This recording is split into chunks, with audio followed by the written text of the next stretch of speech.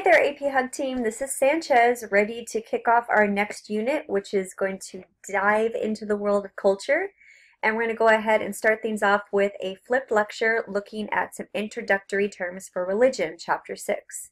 Alright, just a friendly reminder, remember at this point of the game you should have your Geo logbook open. Of course, uh, for the semester, the close of the semester, you have found hopefully a method of note-taking that works for you, whether you're setting yourself up with three column notes, if you're setting up with Cornell notes, or again, maybe even trying to utilize a mind map strategy we used in class. Um, before we get into the lecture on religion, however, I put on the screen uh, the term culture because religion will go into our unit on culture and I wanted to say a few words in terms of culture because it can mean um, many different things to many people. I mean, historically, from the word um, culture actually comes from a Latin word that means to care about. So culture, again, we're talking about um, the ideas in terms of uh, material things that a group of people cares for, and also the beliefs, values, and characteristics that kind of define uh, a collective identity. So definitely religion is going to fall into that uh, culture aspect. Now, the study of how cultures vary over time and space is called cultural geography.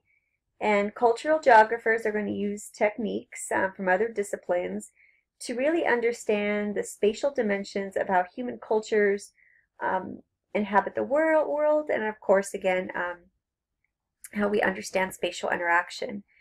Now, on the screen right now, in this particular section, there's a couple things that I really want you to uh, sort of tune in as far as the big ideas.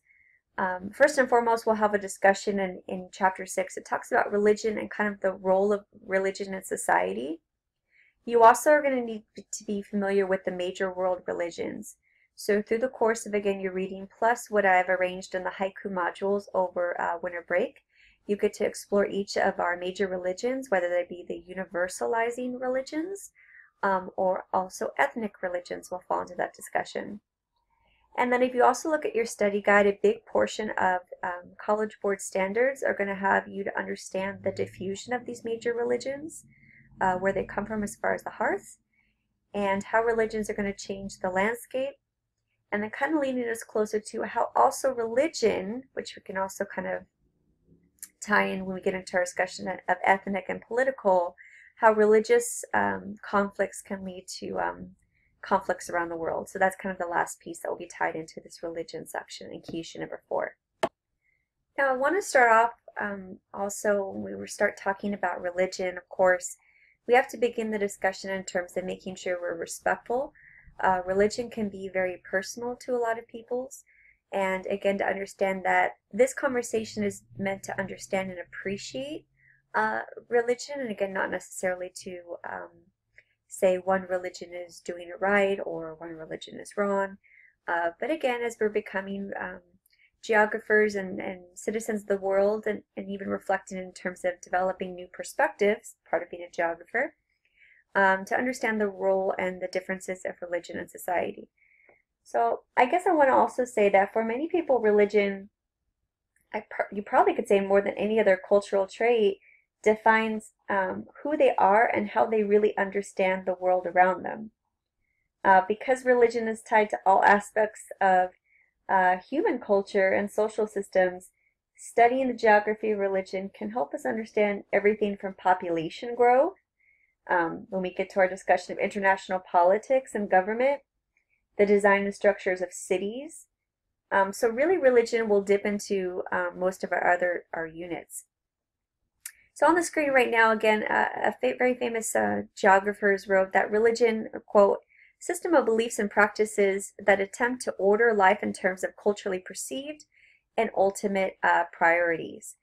Um, I would definitely say that religion uh, is uh, something that's created to help humans and people in general to try to understand and try to uh, navigate what it means to be um, a person in the world. religion is a binding force of society, and you could definitely say that religion serves as a, as a guiding course. It serves to try to help us understand uh, in terms of what is right and what is wrong. Um, a lot of religions talk about how uh, we should structure society in terms of what it means to be a good person, um, and really just to understand our place here on, um, in this universe, what it means, uh, our life's purpose, and so forth, how we interact with each other, how we interact with strangers. Um, so religion, again, um, it's kind of a broad concept, um, but we would definitely say that many religions have been adopted across cultural barriers and language boundaries. Now, religion itself manifests itself in many different ways. Um, so we've seen evidence across history and across the world, um, worship of souls, of ancestors, uh, and living or natural objects, um, belief that certain living people or persons can possess capacities granted by supernatural, uh, supernatural powers, um, the belief in deities or um, gods or goddesses. Um, so religion definitely has a powerful role in society. And we could also again tie it, as we introduced earlier on culture, religion's role in society also can have effect in terms of what we see or perceive the material um, aspects of culture. For example, uh, modes of dress that's acceptable. Um, we see foods that a person can or cannot allow to eat, uh, location and structure of houses. So religion has a very powerful role in society. All right, so some introduction. When we're studying religion, uh, we need to be familiar with the terms on the screen right now, which is monotheistic religions, uh, poly polytheistic religions, and animistic, uh, animistic uh, religions. Um, so we can see, despite there's a variety of religions found around the world, which we'll be looking at through maps and um, various activities, most we can necessarily classify in three main categories. So if we're talking about monotheistic religions, mono is the prefix that means one. Um, so we're talking about the worship of a single deity, if we're talking about God, if we're talking about Allah, if we're re referencing the um, Islamic faith. We also have poly. So poly means multiple. So polytheistic, we're talking about more than one deity, even, you know, thousands of gods and goddesses like we see in the Hindu faith.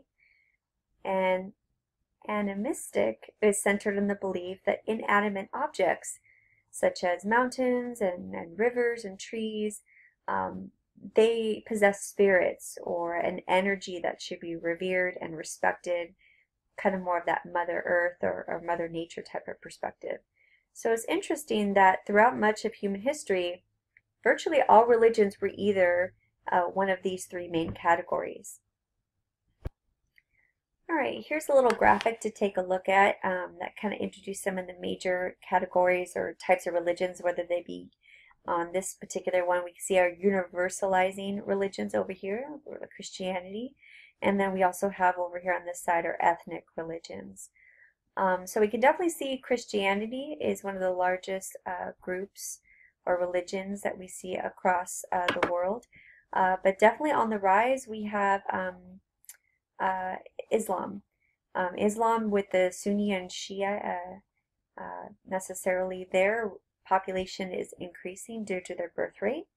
And so we see that Islam today around the world is one of the fastest growing religions. All right, so let's go ahead and start talking about the differences between universalizing religions versus ethnic religions. Um, the three main universalizing religions are Christianity, Islam, and Buddhism. And each of those religions attempts to be global in its appeal to all people, wherever they may live, and not just the ones to in a set location. So if we're talking about universalizing religions, we're talking about the fact in many cases um, that these religions are going out to actually seek people to join their religion. They're trying to get converts. Um, so that's one of the reasons why that these religions um, are large and expansive, they're trying to get out there, they're trying to spread the world, uh, spread the word, I should say, and really it's open that anyone can join. Now on the flip side, obviously ethnic religion, um, particularly these religions belong to one particular ethnic group. And they do not necessarily go out and try to seek converts. Um, we see that they primarily just try to obviously support um, their own ethnic group and their own religion. So you can't really become a part of the religion unless you're kind of born into that religion. So they're really not that concerned of going out and trying to make new people uh, practice their religious faith. All right, well, whether we're talking about universalizing or ethnic religions, part of Chapter 6 is also to help us understand the diffusion of religions. So we can definitely connect to the fact that religions diffuse through uh, two different ways. We can talk about expansion diffusion, so both contagious or hierarchical, um, and then another type of diffusion, we could say religion involves uh, relocation diffusion. So with either of these, the leaders or the followers interact with the people, or if we're talking about universalizing, like we just mentioned, they're trying to convert um, people to join their faith. Um, and that will lead to conversion or possibly that religion um, spreading further. So spatial interaction occurs because of migration or missionary efforts, or even in some case we're talking about conquest, going back to even um, period of Spanish exploration, or, or um, we're talking about missionary um, drive. So the diffusion of religion is going to be important to both of our, our types of religions. So let's go ahead and uh, take a little break and let's uh, take a look at some diffusion in action.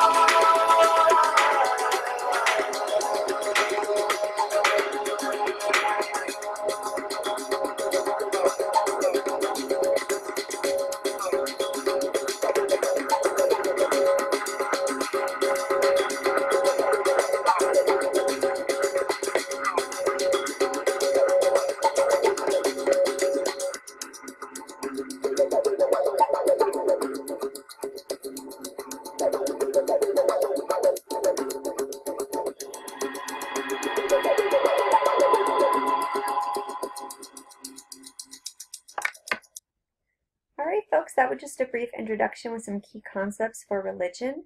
So we're going to go ahead and start digging into the module and we will see you on the haiku boards. Talk to you or see you guys soon.